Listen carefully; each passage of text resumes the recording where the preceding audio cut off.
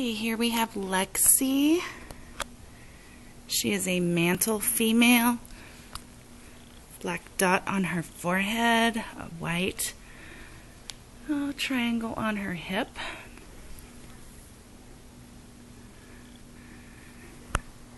White tip tail.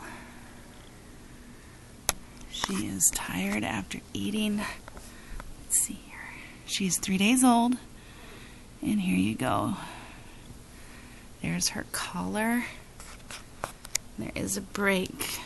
So you can see that the collar is there.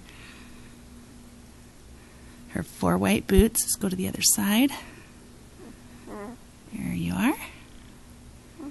And just underneath her collar, all the way up her shoulder. She will have a black nose. And the black does cover both of her eyes. Mm. Meet Lexi.